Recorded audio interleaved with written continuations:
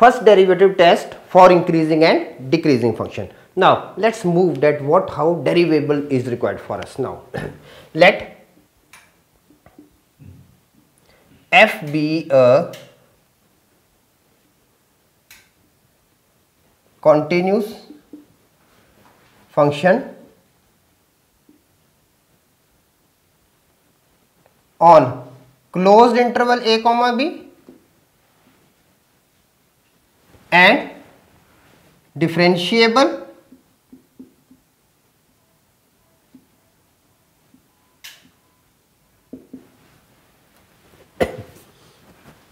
on open interval a comma b then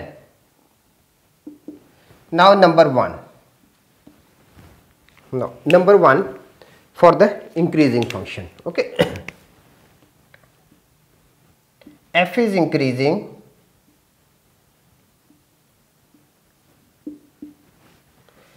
in the closed interval a comma b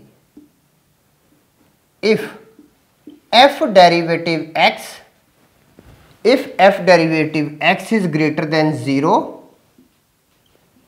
for all x belongs to open interval a comma b.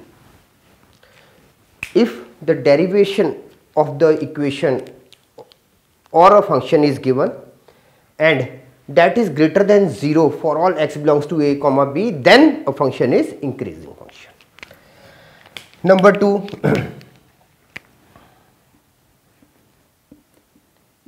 f is decreasing.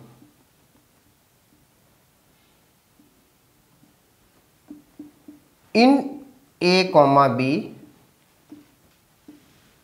if f derivative x is less than 0 for all x belongs to a comma b. Okay? If the value is less than 0 then it is a decreasing function. And third third is f is a constant function. F is a constant function